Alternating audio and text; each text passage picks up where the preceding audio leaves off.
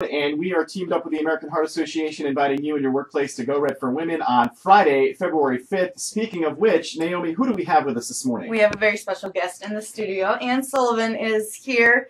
Um, and we've been talking a lot about businesses around the area going red and women going red. What does it exactly mean for someone to go red on this special day? Well, the American Heart Association uh, has the first Friday of every February as their own signature day to bring about awareness for women and heart disease. And um, it's been going on for over 14 years now. Wow. Um, companies turn their businesses red. It started with landmarks glowing red. Uh, Niagara Falls turns red. The Empire Oh, State cool. Building goes red. Uh, the tower, the Needle in Seattle goes red. The Arch in St. Louis. So that's kind of how it started. And and you you'll notice newscasters on national news are all wearing red. Wow. And then we took it to a local level where we started asking local businesses to have a wear red day, um, to have their uh, employees wear red on that day. And then we took it to another level by saying, can you turn your business red?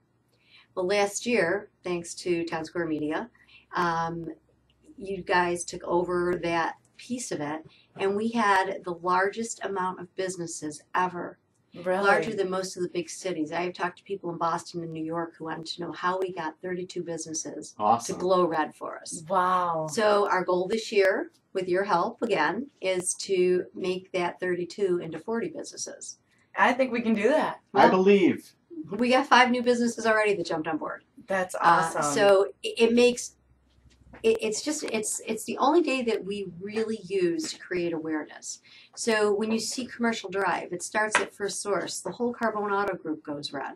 So all of commercial drive is lit up. right. And then with your help last year, we had some of our very special locations downtown go red. The Utica Zoo go red. Um, your building went red, which We you can see from Route 49. Yep. So uh, we, we've just we're, we're picking very strategically places, and then people say, "Why are you red?" Well, then we can tell them Mm. Yeah, and you We can wanna- start the discussion. the discussion Yeah. about women and heart disease, and you know we don't take a whole month. We don't you know we have a different color every month for for something Right. different. We are go red for women. It's it's February fifth, and that is our Wear Red Day.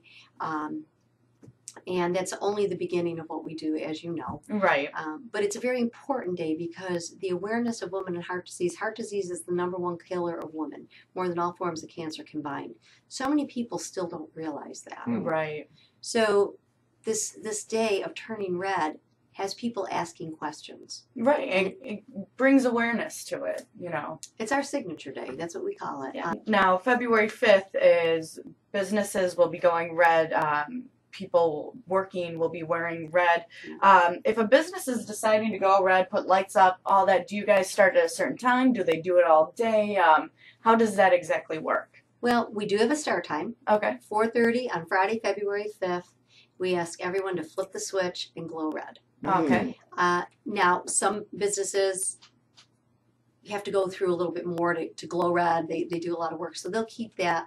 Some may glow red for the whole month of February, which Okay. is Heart Month. Some may turn them off the next day. Some may glow red for the week. It's Right. all up to the business, and there's so many different ways they can do that.